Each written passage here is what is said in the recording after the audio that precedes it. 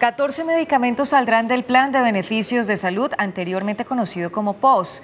Entre los productos están el acetaminofén para algunos casos. El ministro de Salud, Juan Pablo Uribe, entrega más detalles de esta medida. Dentro de estos están dos combinaciones particulares de acetaminofén con codeína y hidroconona.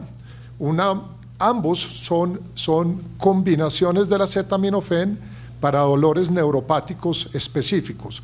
El acetaminofén no está excluido, el uso de la codeína eh, o de las otras combinaciones individuales tampoco está excluido. Se trata de una propuesta de exclusión absolutamente particular para un uso terapéutico específico frente al cual no se, no se cuenta con evidencia de efectividad eh, médica suficiente que se usan. Hay unos que tienen una efectividad dudosa o tremendamente baja.